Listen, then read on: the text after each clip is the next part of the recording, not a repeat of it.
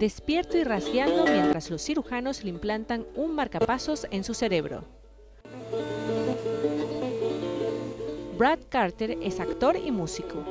Una cara familiar en Hollywood que ha aparecido en comerciales y series de televisión, incluyendo CSI Nueva York.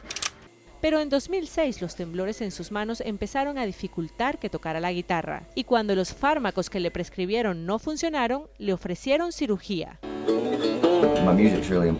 Mi música es muy importante para mí, así que espero que esto me permita tocar la guitarra. Yo punteo con los dedos y quiero grabar, quiero dar conciertos en vivo otra vez.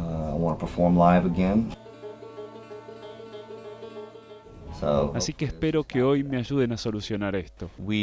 Durante la cirugía ponemos marcapasos en una zona específica del cerebro y mantenemos al paciente despierto para asegurarnos de que estamos en el lugar correcto donde podemos eliminar los temblores.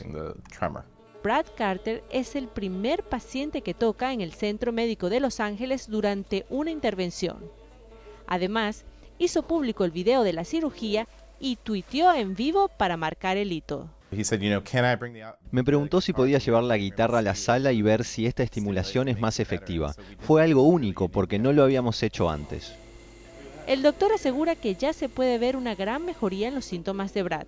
El implante no curará su Parkinson, pero enviará impulsos para controlar los temblores. Y esto es música para sus oídos.